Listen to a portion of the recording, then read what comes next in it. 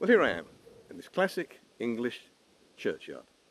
But this is not where William Friese-Greene is buried. No, that's seven miles west of here in Highgate Cemetery, where he lies beneath a monument which controversially declares him to be the inventor of kinematography. So why, you might be asking, am I here and not there?